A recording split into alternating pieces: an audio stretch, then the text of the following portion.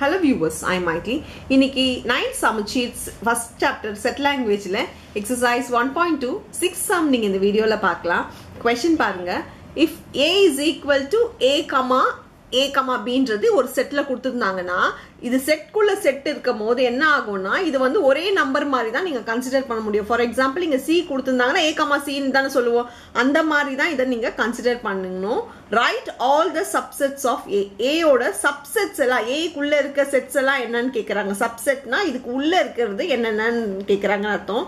So subsets of ஏ எப்படி எழுதணும்னு பாருங்கள் இப்போ சப்செட்ஸ் ஆஃப் ஏ எப்பவுமே ஃபர்ஸ்ட் எடுத்தோடனே ஒரு எம்டி செட் போட்டுக்கோங்க. ஏன்னா எம்டி செட்டும் ஒன் ஆஃப் த சப்செட் தான். ஸோ எம்டி செட் ஒன்று நெக்ஸ்ட் வந்து இந்த ஏ மட்டும். அப்புறம் நான் சொல்லியிருக்கேன் இது வந்து ஒரே செட்டு தான். அப்போ இது வந்து ஏ கமா பின்றது தான் ஒரு செட்டில் எழுதணும். கமா. நெக்ஸ்ட் பார்த்தீங்கன்னா இருக்கிற கொஷின் எல்லாமே எழுதிக்கோங்க. A comma A comma B இதுக்கு வேற வேற மாதிரி அப்புறம் ஸ்ப்ளிட் பண்ண முடியாதுன்றதுனால நான் இதை முடிச்சுக்கிறேன். இதுக்கப்புறம் இதை ஸ்ப்ளிட் பண்ண முடியாது. இது வந்து ஒரே செட் தான். இது ஏ தனியாக பி தனியாக எழுதிடாதீங்க. எக்ஸாமில் நிறைய பசங்க அந்த தப்பு பண்ணுறாங்க அப்படி பண்ணாதீங்க.